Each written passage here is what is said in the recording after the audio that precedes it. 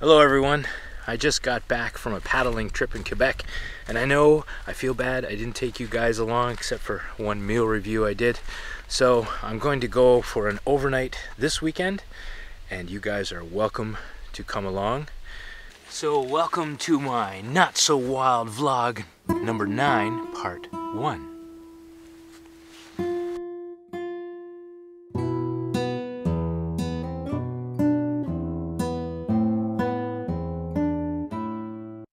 Okay, the reason we didn't take you along, it's um, a new thing for us, this paddling in kayaks. And we've done day trips and overnight trips just to make sure that we could get all the gear we need into these kayaks for an overnight camp.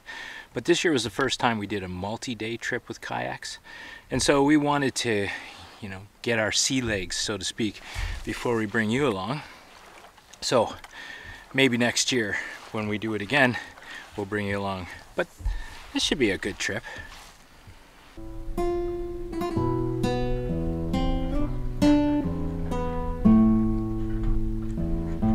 If there's one thing I've learned from hiking is that you need sunscreen, some kind of sun protection if you're going to be out all day in the sun. So I knew I was definitely going to need it while paddling because we were going to be out on the water for two to five hours a day no shade whatsoever.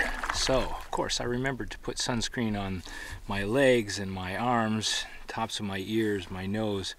But I don't like the taste of sunscreen, so I didn't put any on my lips. Man, was that ever a huge mistake. I've peeled and peeled and they've cracked. Ah, and it's very, very painful. So learn from my mistakes, kids. Remember to put sunscreen on your lips. Now I've paddled into this little cove here. I'm trying to find an entrance to where you can portage. I'm not going to take the portage today, I'm going to go around. But I want to find it because 20 plus years ago, before this was a campgrounds area, before the ministry and the local township took over all of the Crown Land campsites, it was just Crown Land. And we were hiking through here trying to get back to where I started and we just we ran out of time and we had to make a campsite in here and I believe it's where this portage is. So I'm trying to find it again just to revisit it just to see what it looks like. Well so far I've managed to find two guerrilla campsites. They were probably campsites that were made years and years ago and they were taken out of commission when this campgrounds was created. So you're not supposed to be camping there, but it's very obvious that people have been still using those sites. But I still haven't found the portage trail yet. So we're going to try in here.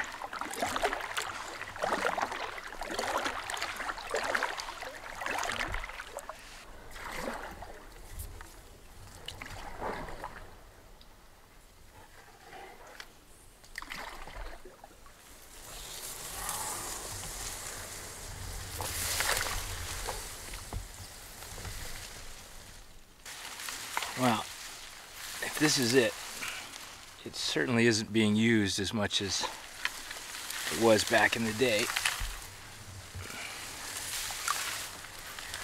I don't see any way to get in here easily anyway. Maybe the water level's just really high. Now, I know that they made a campsite out of the other end of this portage, so maybe that's what's put it out of commission because in order to use it, you'd have to walk through somebody's rented campsite on the other side.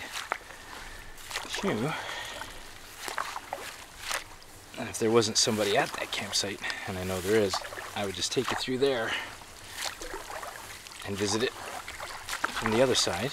But uh, no go. So I got to get on my way because I still got a few hours of paddling to get to where I want to go. So, let's depart.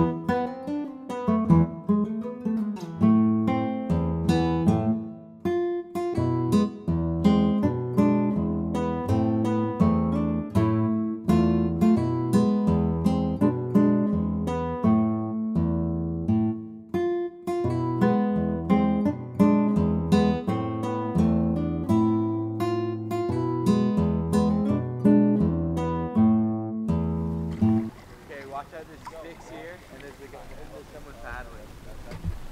Dude, just stay left to the right of these. Just like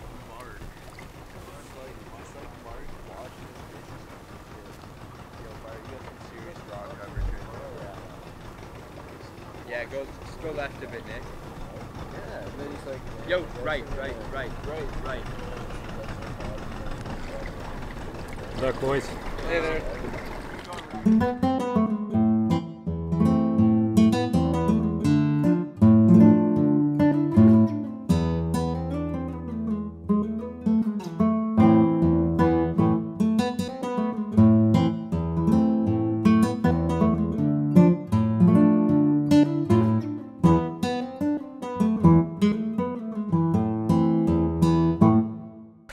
Now, as near as I can figure, we are headed somewhere right over there.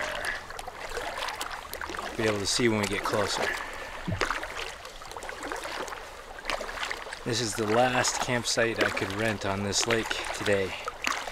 In other words, they're all booked now. And so if this was the last one, you know it's not the best one. But we'll make do. I am seeing now why the bottom lip got burned. Look at that. Not quite getting the coverage. Hmm.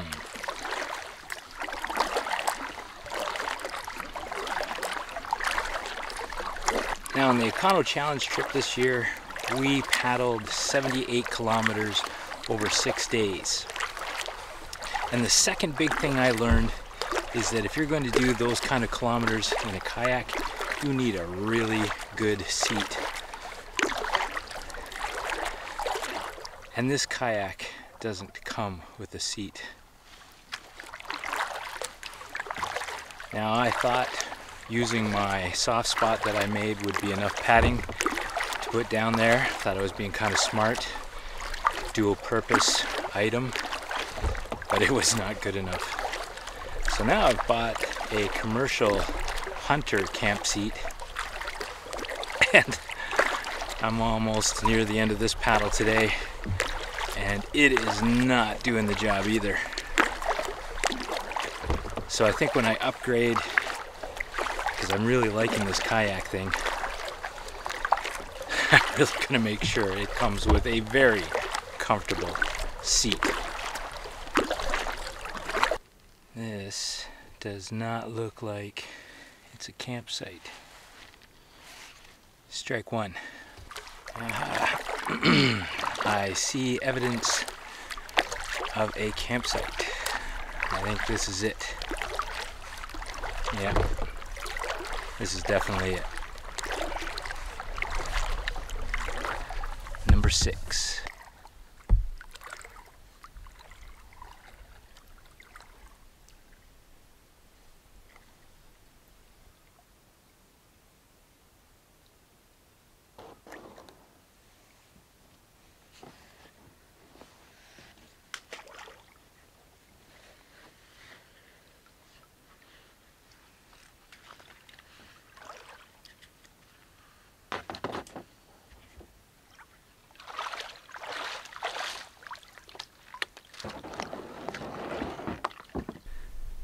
Okay, welcome to campsite number six of the North Frontenac Parklands Round Schooner Lake. Here's some of the facilities that you get for a little over $25 a night. Definitely a user-built makeshift table. That would be the campfire pit, complete with food scraps, tin foil, cigarette butts, and other assorted garbage. And a very simple toilet we call these thunder boxes. Just a hole in the ground with a box over top of it and a toilet seat. They're a little better than digging your own cat hole, but just a little better. That black stuff was the privacy screen that they added to these vaults to give you a little bit of privacy. Obviously they're not maintaining that. Now here's the old Thunderbox. I guess they just left it out here. I don't understand why they didn't take that away and it looks like people are still using it not sure why But there you have it. That's what you get for a little over $25 a night here in the North Frontenac Parklands. Now I'm here because I want to do some hammock camping. But if you are a tent camper, there is not really a good spot for you to set up a tent. It's sloped and bumpy. I can definitely see why this is the last campsite available out here. But that doesn't bother me because I'm going to hammock camp tonight. That's the reason I'm out here today and there'll be more on that in another video. I am looking for a suitable rock which you would think would be fairly easy with all these rocks around here. But it's proving to be harder than I thought. Ah, here we go. Something about that size because now I need to hang my food bag, get it out of harm's way, first thing.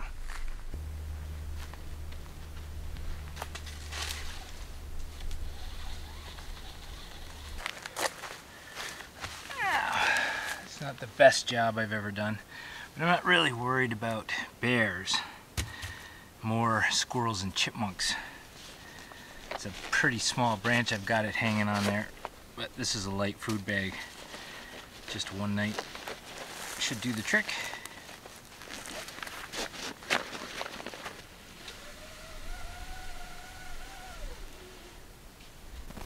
That should work.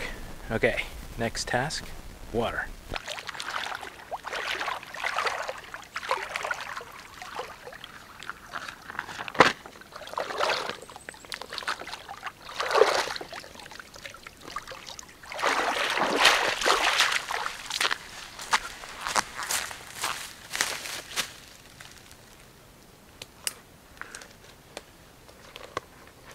I use aqua tabs in that water just to make sure that the viruses are all dead. And I hang it in a tree because I found if I try and leave it on the ground, almost every time it tips over.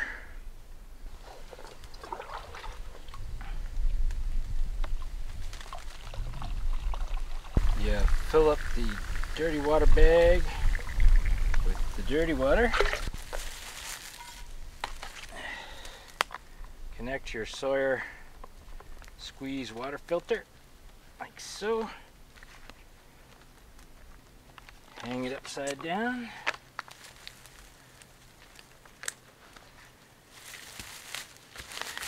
And in a, about 30 to 45 minutes, you've got two liters of clean water, filtered. Now that's just for my drinking water. The cooking water I just take straight out of the lake and boil. Okay, so that is my new hammock, underquilt, and top quilt combination I made in the winter. I'm trying it out for the first time on an overnight tonight, but I'll deal with all of the details of that in a separate video. So while I was busy farting around putting all that together, two liters of fresh drinking water ready for me. I love that system. The question I have now is, will I be able to get away without the tarp? Should I trust the weatherman who said no rain? Hmm. Well, I finished the fireplace rebuild, cleaned it up a little bit.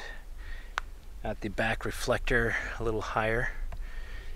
Now I'm worried that I'm not going to have enough time to uh, actually collect firewood because it's dinner time. and I'm going to film a backcountry meal review. But we'll carry on. Hopefully I'll get to use that fireplace. Hopefully.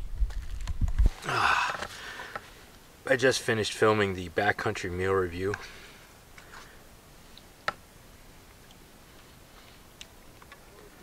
And I like doing them for two reasons.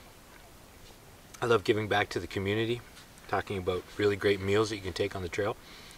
But I also do it for myself so I can remember which ones I really liked and why.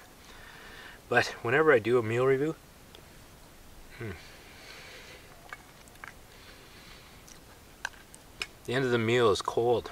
Well, not cold, but certainly not hot because of all the farting around I do filming.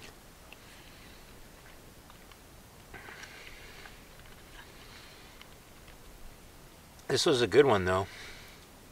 I'll be posting this video later on.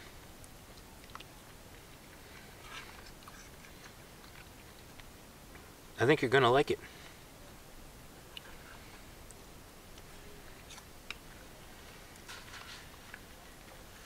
And I'm still going to have some daylight to cut some wood for my fire tonight. I have to put my legs back on. Starting to get a wee bit chilly.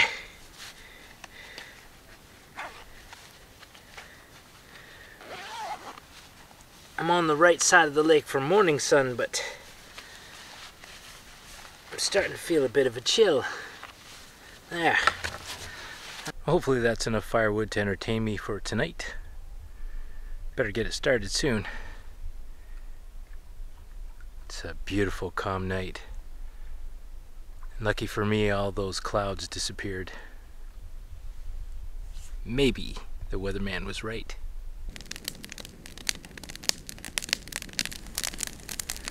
I certainly think I had enough kindling. That should give me a bed of coals.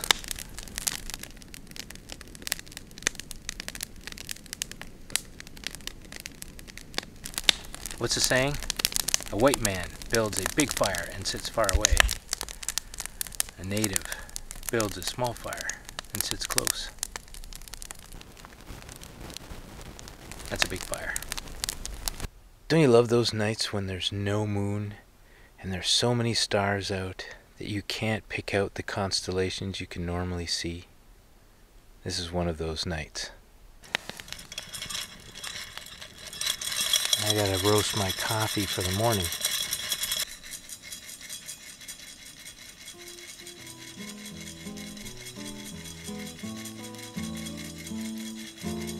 Well, that's it for me tonight, folks. That'll end part one. And I'll see you in the morning when I have the coffee pot on. to start part two. Good night, everyone.